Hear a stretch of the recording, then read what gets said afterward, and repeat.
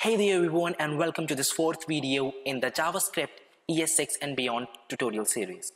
In this video, we'll be understanding the concept of default arguments in ES5 and how it became official with ES6.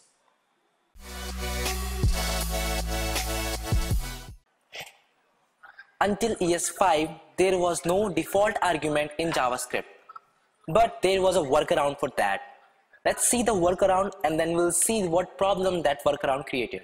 Let's create a file and name it index.js.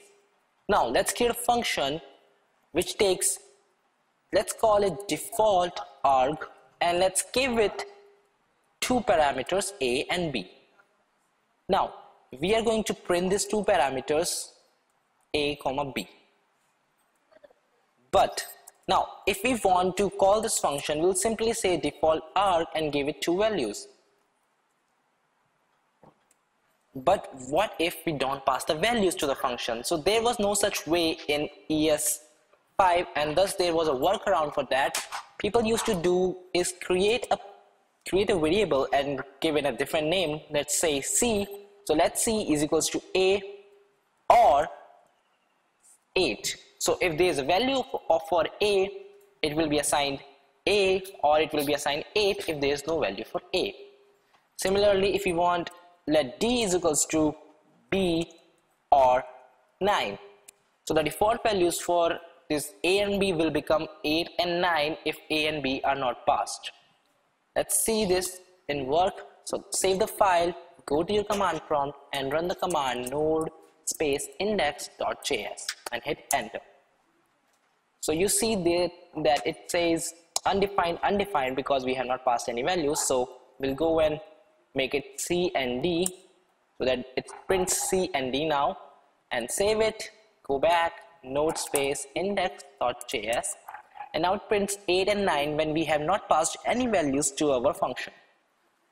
But this workaround have a problem.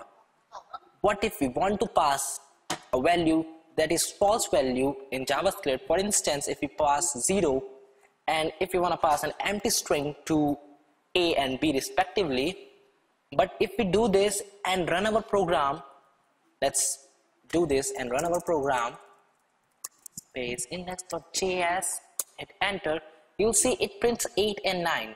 Now what actually happened is there that 0 and empty strings are considered false value.